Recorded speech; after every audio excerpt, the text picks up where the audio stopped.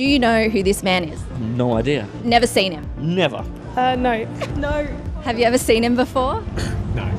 Is he the Premier of Tasmania? Jeremy Rockham.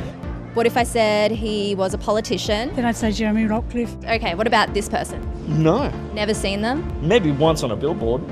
No. She's the Labour leader. Williams? Rebecca White? What about this person? Oh, is that like Louise something? I know her face and Yes. I, it's, it's It's Rosalie Woodruff. Do you know which party? Liberal? No. No idea? Okay. No. Yeah, Greens lady. Yep. Name? Don't know. He's the Premier of Tasmania. Oh no!